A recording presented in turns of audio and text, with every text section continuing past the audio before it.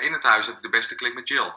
Jill gehad. En ik heb begrepen ook dat het goed met haar gaat. Ik heb gehoord dat ze nu in het hotel zit. waarin ze in afwachting is van, van, van enkele negatieve coronatesten.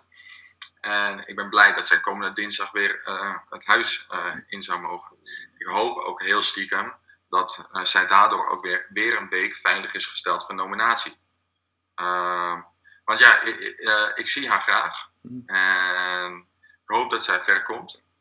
Maar ook zij is, is een speler, net, zo, net zoals ik. Zij doet het ook heel erg op gevoel.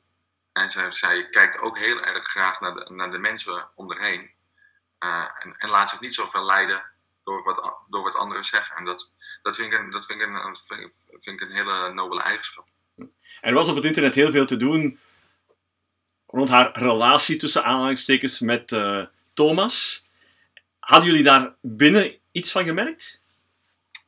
Uh, uh, nou, waarschijnlijk wordt wat er, wat er in, de, in de reguliere uitzending komt, wordt misschien ook wel uitvergroot. En als je er natuurlijk ook een, een, een, een liefdevol muziekje onder zou plakken en bepaalde, en bepaalde beelden zou gebruiken, dan zou het misschien wel zo, zo overkomen.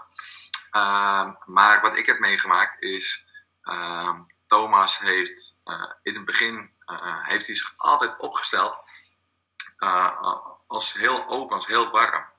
Uh, we, hadden heel veel, we hadden heel veel raakvlakken. Mm -hmm. Hij woonde wel in Brussel. En uh, we, we, hebben niet dezelfde vrienden, maar we, hadden wel de, we hebben wel dezelfde interesses. En dat heeft hij ook met, heeft hij ook met Jill gehad. Ook met, met de, in dezelfde leeftijd. Uh, maar hij is gewoon hij is een goed zak.